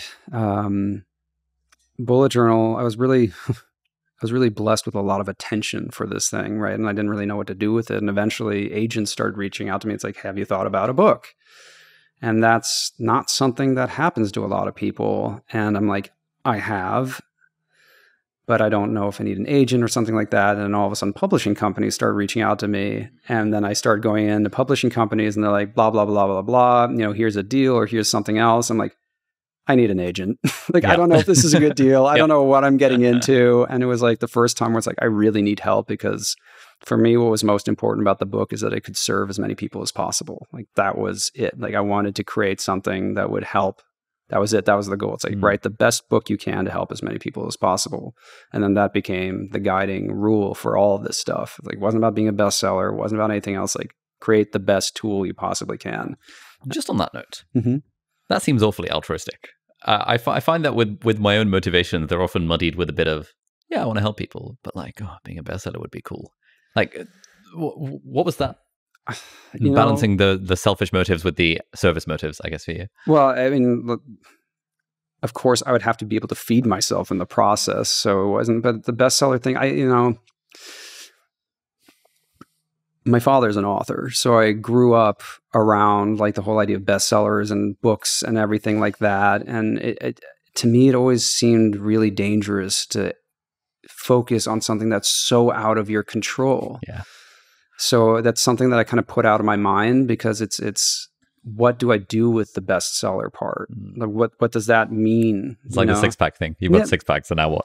Yeah. like what's the underlying thing that's trying to serve? Right. You know, like would it be nice? Absolutely. I'm not going to throw it out the window or anything. If it happens, great. But what's to me just like getting to the finish line with writing this book is it was much more important and doing it in a way where I could like this is the best I can possibly do. Yeah. That was enough. In, in, some ways, it's not necessarily altruism. It's like setting the bar so low that I can actually do it. It's like I just want to do the best job I possibly can and finish this thing. Like so, you know, and hopefully it helps people. That's that's all. If I can do that, then great. so it's it's more about the, maybe more of a survival mindset. Like I just yeah, want to do a good job. I know what you mean. yeah, I, I find that anytime I'm, I'm sitting down to write, whenever I have the bestseller list in my mind, it just completely takes the fun out of it. But whenever I think, you know what, I just want to write something I'm proud of that can help at least one person, suddenly the bar is low.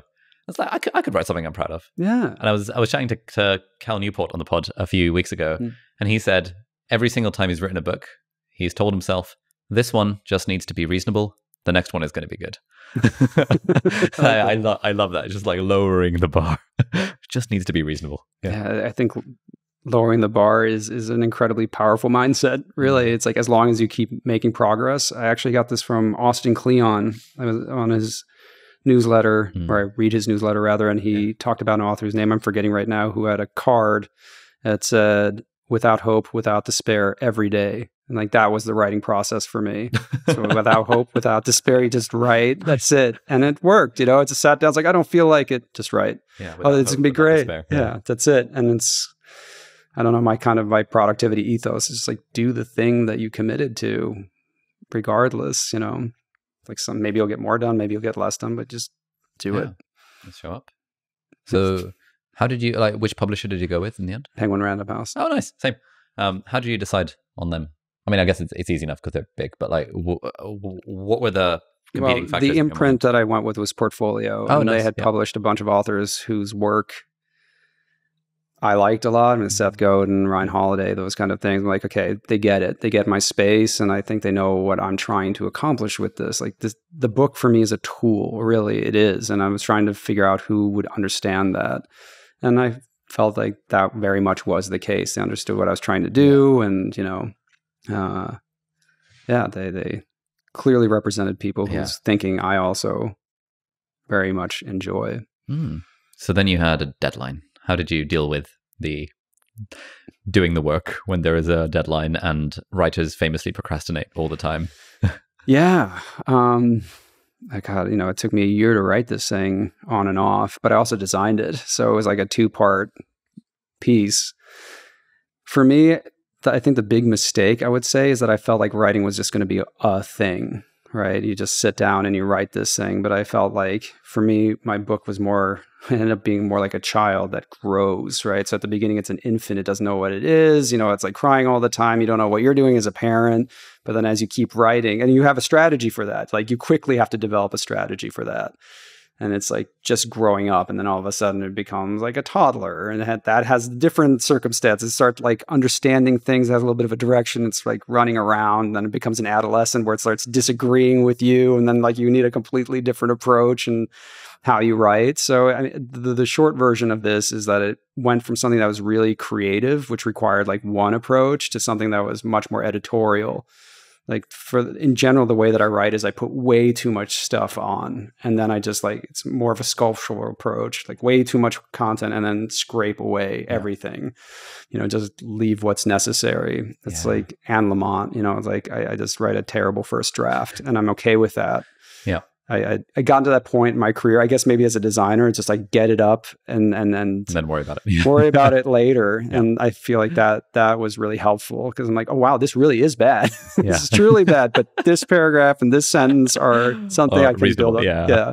Yeah, that's the stage I'm at right now. I've done the shitty first draft, and I look at it. I'm just like, most of it is really bad, but oca- occasionally there are some bits that are reasonable. And I'm like, all right, cool. How do we get just more of those bits? and Yeah. string them together.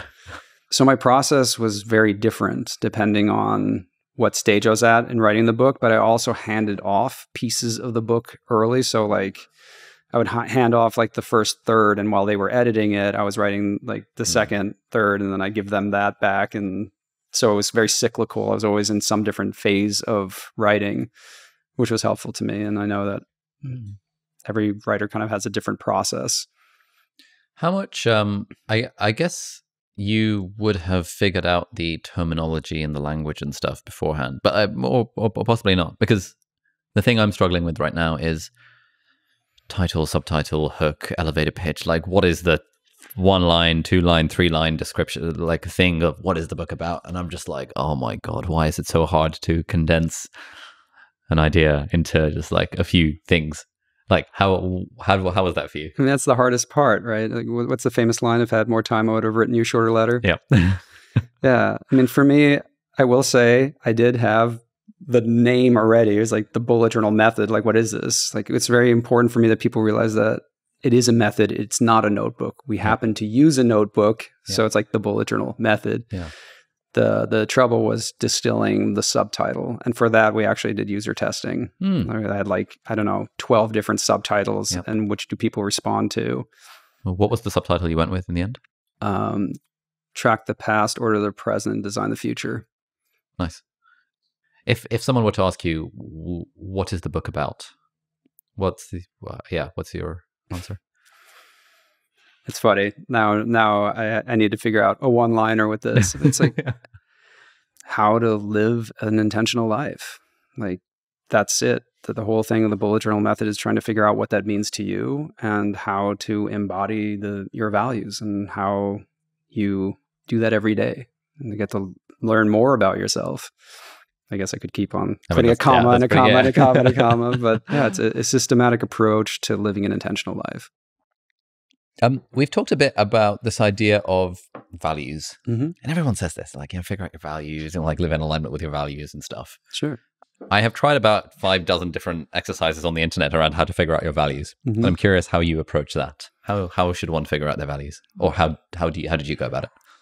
I think it's an ongoing process, right? Because your circumstances change, you learn new things, and your values can change, Yeah. I find. But I think a big part of it is by studying your lived experience.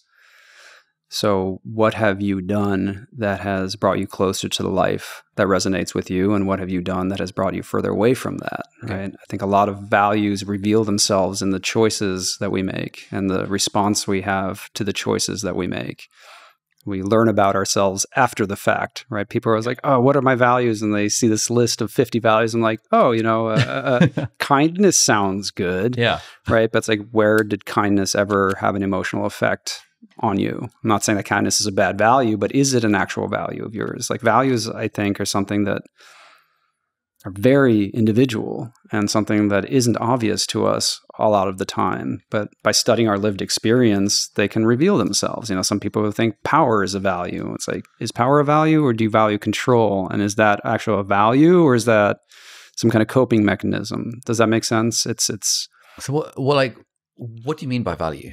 Like, but like most people would probably say that, yeah, I I value kindness, I value honesty, integrity, and stuff. Are we th- talking like what are moments in your life where you felt the most mm, mm, you like you were doing something meaningful and trying to get stuff out of that, or to me, it, Yeah. I think it's both sides of the spectrum. It's figuring out what moments in your life have felt more most meaningful or more meaningful or meaningful at all. It doesn't need, need to be most meaningful. And what behavior or value supported that experience. That to me is really interesting. Like, what about this felt meaningful to you? Yep. And then you have the flip side of that where you feel terrible about something and like what value was not being met or what anti value, if you will, are you, you know, now embodying, right? Is it jealousy? Is it anger? Is it, you know, pettiness? That kind of thing. Okay. So what's the opposite of that? If you don't want to feel this way, it reveals what you do want to feel, that kind of thing. And Mm. for me, embodying your values is is critical. It helps you form your intentions because values are there's no they're kind of part of the infinite game, if you will, right? They like it's something that you embody. You have the choice to embody your value or not, but only when you're aware of them. It's like you have choices how to respond. Again, we get back to stoicism here, right? The only thing you can control is how you respond. Okay, so what's driving that response? You know, th- that that's the part that like is missing often. It's like, okay, I have a choice as to how to respond, Yep. but then what's driving that choice? And that choice, I would like to argue, should be your value. Because if there's nothing behind the choice, then you might be Yeah. responding poorly.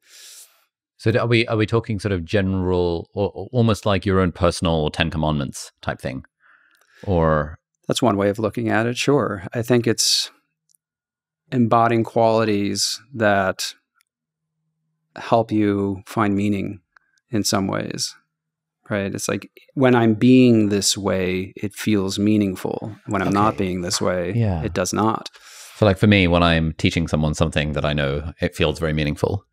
Um, when I am being like, uh, when I feel like I'm being authentic and honest, it feels meaningful. When I have to tell a white lie, it feels really bad.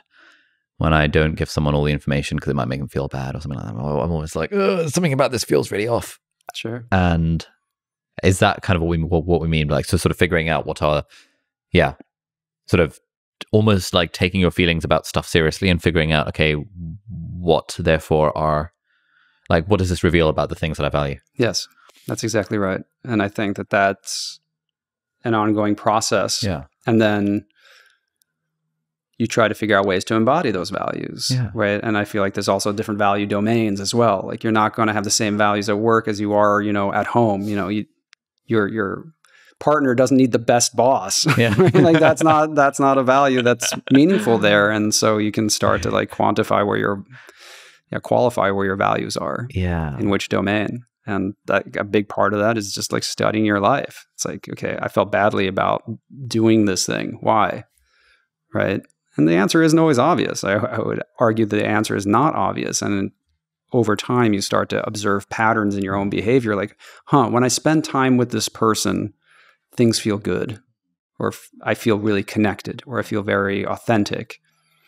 Why? Why does this person bring that out in me? What do we Yeah. discuss? What do we do? And then people who don't, like every time I spend time with this person, I feel completely drained, or I feel like I betrayed myself, or you know, I'm trying to put on a show, or I don't feel good. And then you can start like unraveling that whole rabbit hole one piece at a time. And it, words come up, like you actually have language here, you know, authentic, inauthentic, present, distracted, these kind of things. And curious for me, you know, value mine is curiosity and play. Those are two things that are how do I bring play into this situation? You know, how do I embody curiosity in this situation? Like I have an option of how I'm going to respond here. And how do I bring that up? Nice. Um, what's your take on three year planning, five year planning, 10 year planning, one year planning? Like, having heard all the zillions of stories from people, like, what have you seen, I guess, in your life and in the lives of people who've, who've reached out to you with stories? What's what's a good amount of planning versus spontaneity to have? Yeah, I mean, for me, I guess I approach this whole thing differently because for me, it's more about being in the present, right? And trying to develop different goals that are, for me, experiments. They're plays, if you will. It's like, hey, what am I going to do now that helps me embody this value in some way? And a five year plan doesn't really work that way because I know it's going to change. That being said, kind of having an uh, idea of where I want to head. Like, okay, so I think the best way I can talk about this is that I, I have this analogy that goals are like lighthouses, Oh, right? tell me more. Sure. So a lot of times when I heard about goals in the past, it's like, here is your target, Yeah. right? And that's how I operated. And it was always disappointing and confusing, at least for me. And the reason why is when you set a goal, you're setting it at the furthest distance away from that reality. From day one is the furthest distance you'll ever be away from that goal. So it means you don't know anything about that experience. You don't know anything about that reality. And every day as you get closer to that goal, it becomes clearer and it becomes more real. And oftentimes you change your mind. You're like, oh, wait, this is not what I actually want. Or you learn something new. It's actually over here. So I think that rather it being the final destination, it's like a lighthouse. And from what I understand of lighthouses, I'm not a lighthouse expert, but let's just put, go with it for now. You never go to the lighthouse, right? The lighthouse stands at a place that's actually really hazardous. It's there to make sure that ships don't go there, but ships can also use it to navigate. And I think that that's a really interesting way of thinking about your goals because it's you're setting some destination for you to learn about something along the way.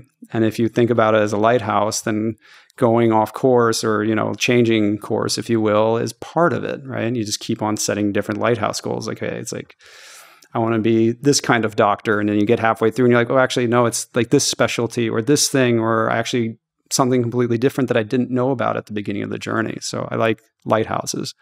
To come back to the year long, five year goals, I think it's the same kind of thing. If you believe in something strongly and it's going to take you five years, start, right? And then change your mind when you when it becomes more real. I think having objectives is really important, right? But I also think abandoning the objectives based on reality is just as important, if that makes sense. Like when when a theory starts becoming very real through your lived experience, it's it's and then resetting along the way. I don't know. For me, everything is a lot more organic than than setting five year goals. Like sometimes I want to do something. I'm like, hmm, that's going to take five years.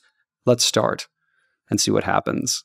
And then I'm not like doggedly pursuing this thing for five years because I've never been in a situation where five years later I'm the same person. That just hasn't happened for me. It's good to have the direction so I don't get totally lost, right? Yeah. Like a lighthouse. But along the way, I'm just a completely different person. That's a really great way of thinking about goals. I love it. That's fantastic. yeah, I think there's a lot of um, almost moralizing around this, around how it is a morally good thing for you to stick to the goal that you set. And like if you move the goalpost, that's like considered a bad thing rather than a good thing that you move the goalpost. And often people will like I get I get this criticism from my mum quite a lot. They're like, hey, so you know that time you were taking those exams to do residency in the US? Like, what happened to that? And I'm like, why'd you move the goalpost? And she's like, yeah, you, you know, you moved the goalpost. I'm like, yeah, exactly. I started doing the thing, realized that that's not in fact the person I want to be, and changed my mind. And I feel like this is probably a good thing rather than a bad thing. But I guess it's it's that balance between being a quitter versus being someone who changed their mind on a goal as they got more data. How how how do you think about that balance? Sure. Yeah, and there's there's no ultimate answer to that as well. I feel like one easy way to define the difference or the distinction there is that you continue making progress towards something, right? Rather than like this target, you're like, okay, it's over here, and you continue to work, and like it's going to take two months. It's going to take like the book that I started to write and the book that I handed off are completely different things, yeah. right? I did the work, it took the time, yeah. but the goal and the destination were very different from one another, if that makes sense. And then there's just giving up, sure. And I don't think that that's necessarily a bad thing either. Um, there's a lot of nuance here that I can't really like cover, but there's one thing where it's like you just don't believe in this anymore, and that's okay, you know. And sometimes you don't believe. I mean, don't get me wrong. I didn't believe in my book on multiple days in those years, right? It's like, why am I doing this? It's like I got no business doing this. All these things, but it would go away, and there's a season for that. But if like you truly just don't understand why you're doing something anymore, you know, then quitting is absolutely okay. You know, we have such limited time here. I think it's understanding why you're quitting specifically. That's important. What about this isn't working for me? And oftentimes, like it not meaning anything to you anymore, now that you realize what the truth about this goal is, is really important. You know, it's it's um it's a process, and a lot of times we set goals that actually seem quite pointless halfway through. You're like, wait a second, not because it's hard. The hardness shouldn't be the determining factor. It's kind of like, I don't know what value this is adding to my life. in case, like, you know, it's, it's, is this going to make me a, a better partner, a better teacher, a better whatever? Like, you're halfway through. Do you feel that way? You know, the reality's starting to set in, you know, and if the answer is no, yeah ongoingly, then I think that's a pretty good indication that that might not be worth pursuing. Yeah. So one of the things we did this time last year, actually, when we first moved into the studio, was you know worked with a business coach, and he talked about kind of making a sort of three year three year picture, three year plan mm-hmm. kind of thing. And I was like, oh, come on, like three years, social media space, things change a lot. And he was like, oh, you know, that's fine, but it's useful to think at this at this stage, what do you just like imagine that three year picture to be? Because mm-hmm. then we can start working towards that and see what happens. And at the time, I was like, okay, three years from now, want to be doing, I don't know, 10 million revenue, want to be a team of 40 people, like physical location in London, like multiple studios where we can like bring our YouTuber Academy students in and rent them out and stuff. And we are like, all right, cool. Let's start working towards that thing, that that that kind of picture. And within probably about six or so months, I started feeling, hmm, that picture no longer feels great. Like I actually don't want to have a team of 50 people and be worrying about revenue numbers and be trying to rent studio space to people. Like that seems, seems like the worst thing in the world. Okay. Uh, and then that vision changed and it became much more about like, actually, it'll be quite nice to be able to focus on doing things I actually enjoy, which is reading, writing, and teaching without having to worry about managing a team and all that kind of stuff. Mm-hmm. And so having and and this is why we only signed up to this studio space for a year because I knew at the time it was like okay this is an experiment we're going to get gather data throughout this year and see what happens so now we're as of like tomorrow we're and next week we're moving out of this place um, I'm moving into a flat with my with my brother and his wife and we're kind of building a YouTube podcasty studio in the flat to see what that will be like. And again that's just an experiment for a year to see what happens. And I find that sort of being committing to a path for a certain period of time just to sort of not be too uh, not having a, a, direction but also being completely open to changing my mind on it because knowing that like hey i actually have no data points on this. Let's just gather data treat it as an experiment and see what happens. Yeah that, I, I totally agree with that path. I mean it's like you know when you keep on working, right? You're pushing things forward. And as you learn, I think it's silly to continue to go towards something when you realize that it's not aligned with what you care about, especially because you're experiencing it every day. I mean, with the story, it sounds like you did the work, things came up, you learned, and it didn't feel right. Mm. And then you opted to do something else. It, it wasn't like pulling the plug. Mm. So that goal became irrelevant at that point. I do think it's helpful to start somewhere though, like to, Yeah. to be very clear. It's like, let's create the three year, let's create the five year. For me, again, it's always comes back to the value. It's like, okay, the value determines the goals. Like, I want to create a really wonderful company. How do I do that in five years? And then, like, we'll learn. Yeah. So it's great, you know, just more playful. I think we just need to be much more playful in our productivity. It's like, okay, Playful productivity. Yeah. yeah. Um, I was going to call my book Playful Productivity or Joyful Productivity or something. Annoyingly, both those names are taken by other people that have made blogs that, with those titles. I was like, damn. um, And- changing gears a bit. Sure. Uh, Bullet Journal has an app. What's what's the deal with that? Sure. Um, so for me, people always ask me like digital or analog, and I'm really agnostic to this. It's about the, finding the best tool for the job. When it comes to Bujo, I find that a notebook, at least to me and many, is really helpful because it helps you go offline. But it also has limitations that are unnecessary, right? Like a notebook's not going to remind you to check in with it. And technology is really good like that. And having been a UX designer and designing apps all my life, like I really enjoy doing that as well. I'm like, huh, how can I bridge the digital analog in Yeah. different ways? And the app is like that. It sets reminders. It helps you track how often you've reflected to keep you honest about it. It gives you different quotes. It allows you to take pictures of your notebook so you can have a digital backup. It, you know, all these tools that can be really helpful to people. You don't need it. I see all of the products that I make as accessories to the methodology, you know. But uh, yeah, I, I try to fill my own gaps in my productivity system. Like, okay, I actually want to take a picture of this to send it to somebody. I want to have a backup of it. Mm. Like, I lost a lot of my notebooks in a flood early on, so like, I, I that's a real thing. Yeah.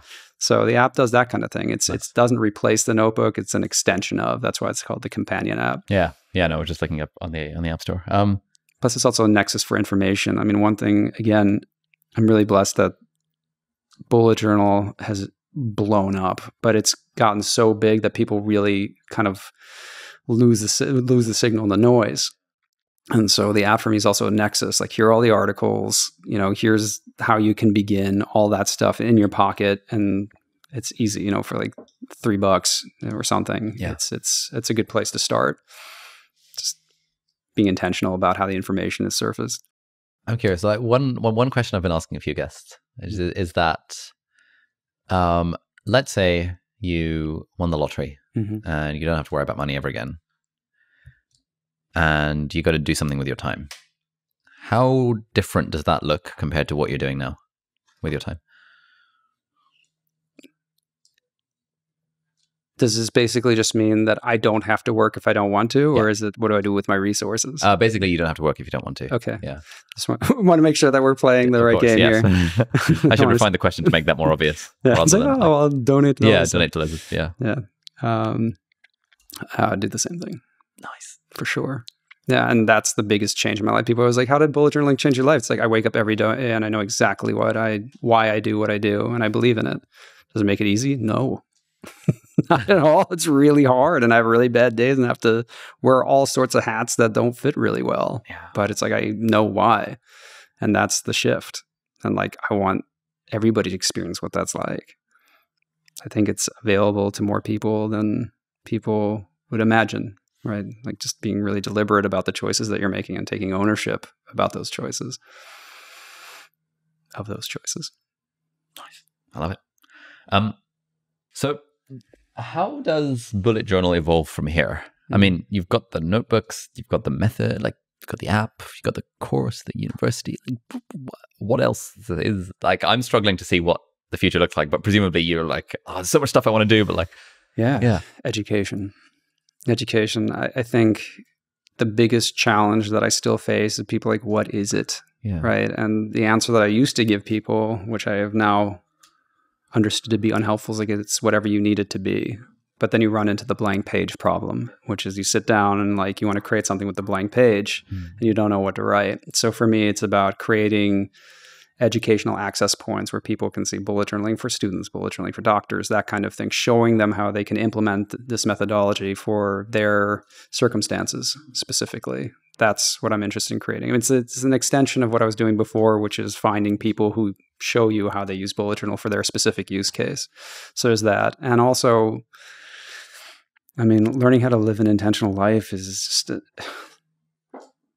I don't know, it's it's an infinite topic. There's so many ways of approaching it, and it's really exciting to me. So for me, it's it's it's I'm trying to create an infrastructure for me to build the things, to build tools to help people, yeah, live an intentional life. And there's just so many ways of going about that, and there's some really interesting projects in the works along those lines. But I think it's education. I feel like education as a company is one of our core focuses as both a value and as a goal. nice. I love it. Another thing is I don't know where bullet journal will go. Like there's so many different ways, but we have a community and they teach me all the time. So they'll ask me questions and they will identify opportunities for us to like really lean into and build systems around and all that kind of thing. So I'm really excited to learn about what people need and see if we can build something to support that. Ryder, thank you so much. This has been wonderful. Uh, where can people, where's the best place for people to learn more about you, about the bullet journal method? Bulletjournal.com. Amazing. Nice and easy. And we'll put links to all of the stuff, including the book and my video on the topic and Matt's video on the topic and your website and bulletjournal.com. All of those links will be in the video description and in the show notes wherever people are listening to this. So thank you so much for coming on. Thanks so much for having me. All right, so that's it for this week's episode of Deep Dive. Thank you so much for watching or listening. All the links and resources that we mentioned in the podcast are going to be linked down in the video description or in the show notes, depending on where you're watching or listening to this. If you're listening to this on a podcast platform, then do please leave us a review on the iTunes store. It really helps other people discover the podcast. Or if you're watching this in full HD or 4K on YouTube, then you can leave a comment down below and ask any questions or any insights or any thoughts about the episode. That would be awesome. And if you enjoyed this episode, you might like to check out this episode here as well, which links in with some of the stuff that we talked about in the episode. So thanks for watching. Uh, do hit the subscribe button if you aren't already, and I'll see you next time. Bye bye.